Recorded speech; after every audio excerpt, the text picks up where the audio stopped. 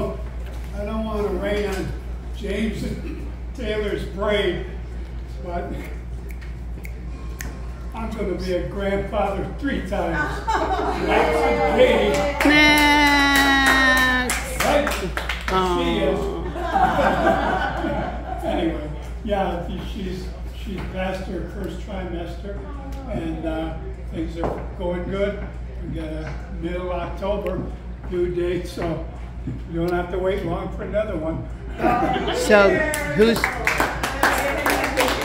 Cheers to Max. Hi, Casey. Say hi, Casey.